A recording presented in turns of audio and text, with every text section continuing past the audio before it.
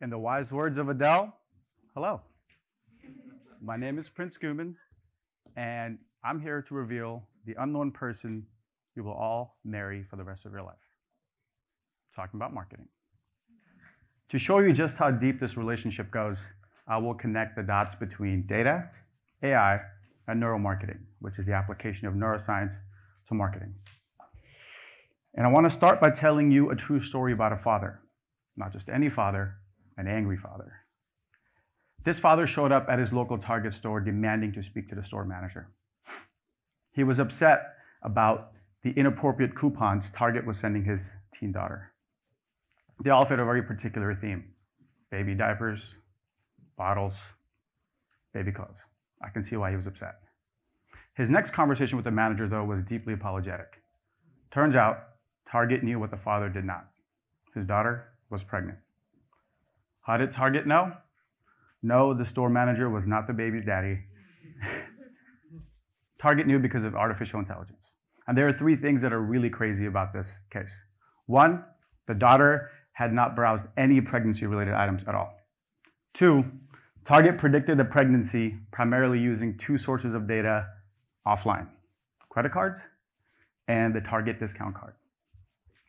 Three, this took place 10 years ago. To put that in perspective for you, the most popular TV show at that time was Jersey Shore. That's when Snooki entered our vocabulary, and we're all worse for it. Target story is the past. Let's talk about the present.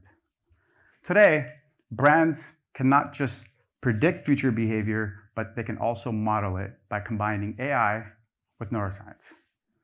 One of the ways to do this is by using ocean analysis. When it comes to psychology based personality theories, ocean analysis is number one, Max is number two. The acronym OCEAN represents five different key core personality traits openness, conscientiousness, extroversion, agreeableness, and neuroticism. Your OCEAN profile is your score on each of these traits. Ocean analysis can predict a range of outcomes from relationship success, which is high agreeableness, to racism, which is low openness. Today, it is the most valid form of personality analysis available and is freakishly accurate at predicting and modeling your future behavior. Here's a free hashtag life hack. Instead of reading your horoscopes, go take an ocean test. You'll learn a lot more about yourself. Imagine a world where people walked around with their ocean scourge on their forehead. How persuasive would marketing be then? That's exactly what happened. It took place in the political arena. I'm talking about Brexit and the US presidential election of Donald Trump.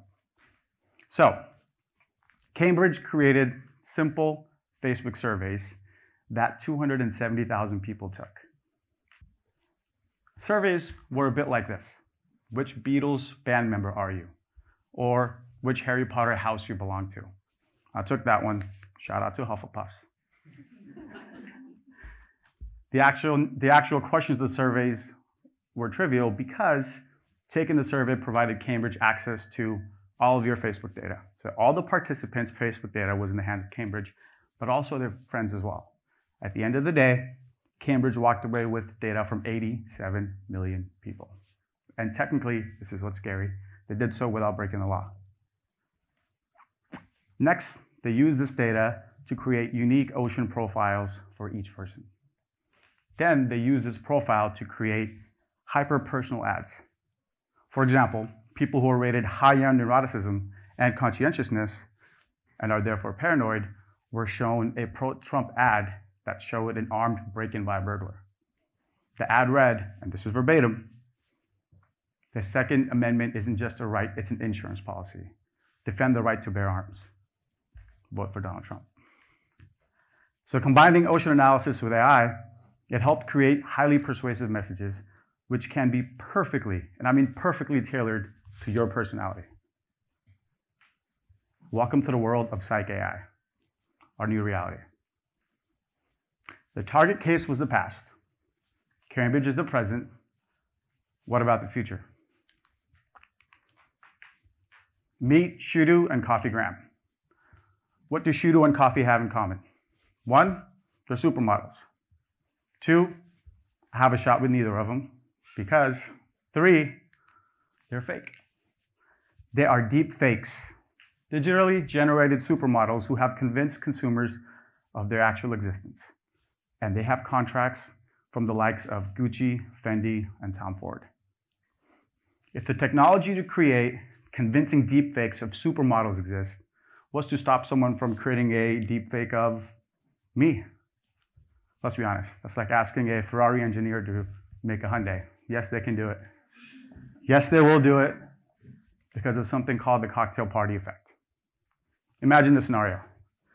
We're at a crowded party, having a couple drinks, catching up with a close friend. You're sucked into your conversation, completely oblivious to the chatter of voices all around you.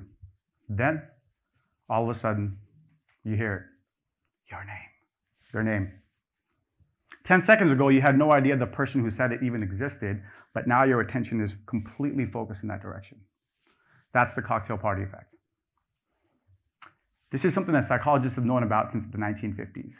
It even works when you're asleep. A part of your brain stays awake listening and paying attention for your name. Recent research has revealed that we have a special kind of attention, not just for our names, but for our faces as well. In other words, there is a thing called the visual cocktail party effect. It's not a matter of if our faces will be used by the brands, but when and how. And here are two very easy ways. One, social media. Imagine scrolling mindlessly through your newsfeed. And maybe you're the one person who claims to never click any of the ads you see, but how could you not when the person modeling those fancy new sunnies is you? You don't even have to consciously see that it's your face. The face doesn't even have to look exactly like you, just close enough to draw your attention. Mission accomplished for the ad. Second, face swap. Face swap videos. Imagine placing your face on another person's body in a digital video. There's a piece of tech called Zao that allows you to insert yourself as a character in a famous movie. The ad that introduced the app showed scenes from Inception with a completely different human being playing the role of Leonardo DiCaprio. Crazy, right? I don't know about you, but I'm kind of excited about this. On paper, this tech sounds pretty, pretty great. I can finally live up my dream of not just singing like Adele, but being Adele. Hello, it's me. Now imagine face swaps technology being used to advertise something serious, like insurance. What would hit you harder than seeing a video of paramedics pulling your dead body out of a car crash? Call AIG now for your insurance quotes. The exact form of this new way of personalized face ads remains to be seen. One thing is for sure. The tech behind face-based ads is already being worked on.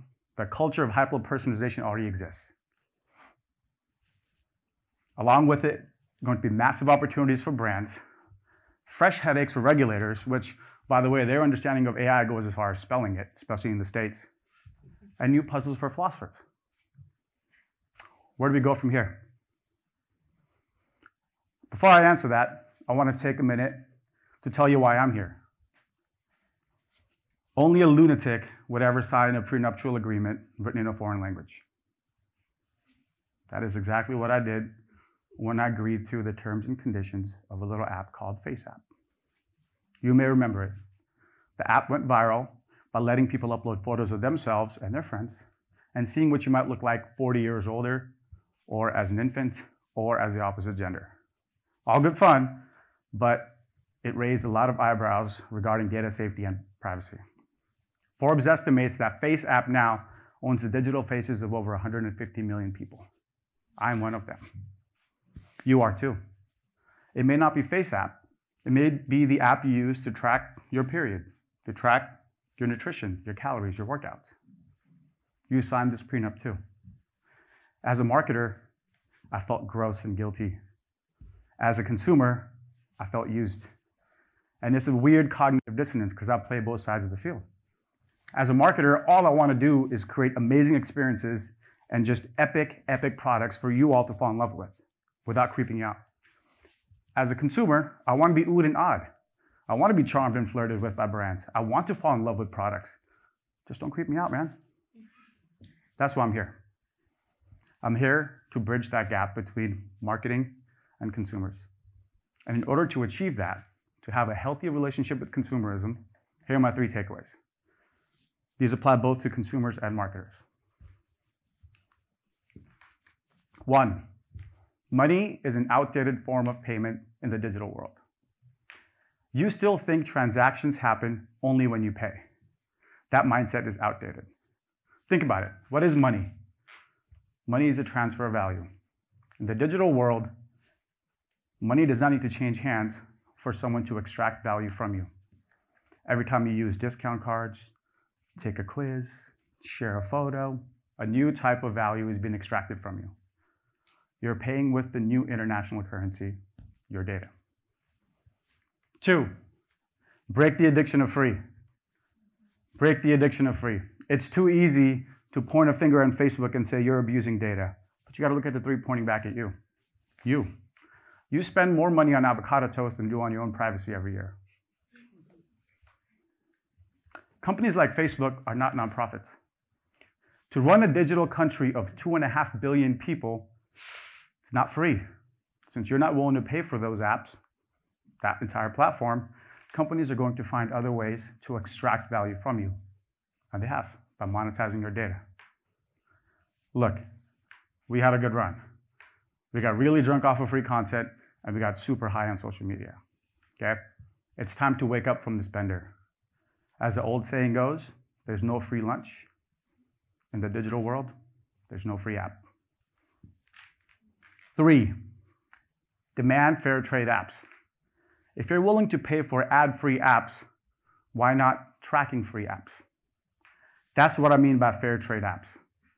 It's ironic that we know more about where the coffee at Starbucks comes from and less about where our data goes when you connect to the Wi Fi.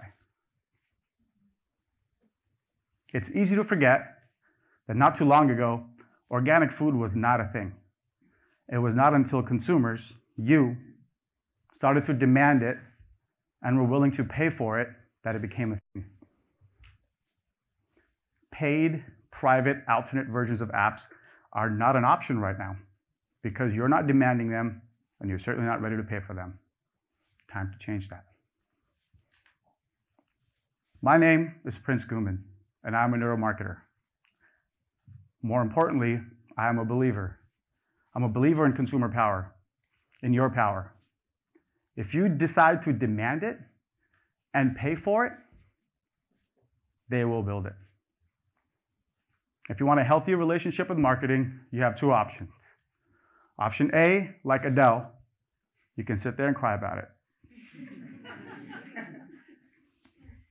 Option B, like Beyonce, you can do something about it. When it comes to your inescapable marriage with marketing, be like Beyonce. That is an idea worth spreading. Thank you.